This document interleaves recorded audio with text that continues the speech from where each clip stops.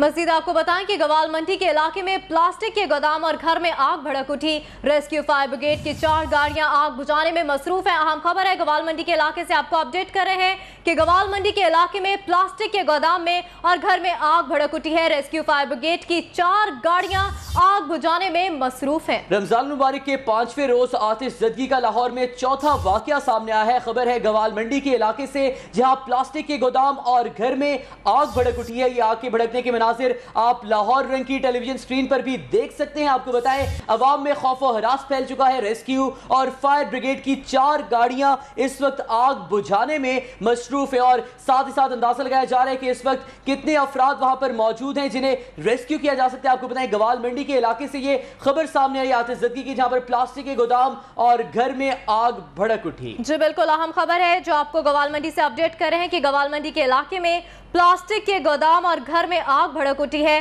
Rescue fire brigade کی چار گاڑیاں آگ بجانے میں مصروف ہیں۔ لاہورن کی ٹیلی ویژن سکرین پر آپ دیکھ سکتے ہیں کہ آگ کی شدت کتنی زیادہ ہے۔ گوال منڈی کے علاقے میں پلاسٹک کے گودام اور گھر میں آگ بھڑک اٹھی ہے۔ ریسکیو فائر بگیٹ کی چار گاڑیاں آگ بجانے میں اس ٹائم مصروف ہیں۔ جی بالکل، گوال منڈی کے علاقے سے افسوستا خبر سامنے آئی ہے۔ آتے زدگی کا یہ واقعہ ہے۔ پلاسٹک کے گودام اور گھر میں بتایا جا رہا ہے کہ آگ بڑک اٹھی ہے۔ آگ کے یہ بڑکتے ہوئے شولے آپ لاہور رنگ کی ٹیلی ویژن سٹرین پر بھی دیکھ سکتے ہیں۔ اس وقت بتایا جا رہا ہے کہ ریسکیو فائر بگیٹ کی چار گاڑیاں اس وقت آگ بجانے میں مصروف ہیں اور ساتھ ہی ساتھ اگر یہاں پر کسی شخص بھی زخمی حالت میں موجود ہے یا کوئی خدا نخواستہ کوئی اموات گوات کا واقعہ سامنے آیا ہے۔ اس حوالے سے بھی مزید تفصیلات ہم جانیں گے۔ آپ کو بتائیں کہ گوال منڈی کے علاقے میں پلاسٹک کے گودام اور گھر میں آگ بھڑک اٹھی اور یہ اپنی نویت کا رمضان مبارک کے رواں ماہ میں پانچواں واقعہ ہے۔ آتش زدگی کا لاہور شہر میں ہونے والا آتش زدگی کا ایک اور واقعہ سامنے آیا ہے۔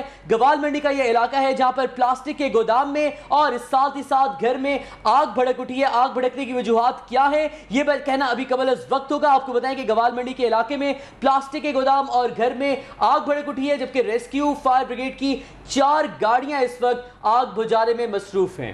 جی آپ کو بتا رہے ہیں کہ گوال منڈی کے علاقے میں پلاسٹک کے گودام اور گھر میں آگ بھڑک اٹھی ہے۔ ابھی اس آگ، یہ کہ آگ کیسے لگی، اس کا اندازہ نہیں لگایا جا سک رہا۔ آپ کو بتا رہے ہیں کہ گوال منڈی کے علاقے میں پلاسٹک کے گودام اور گھر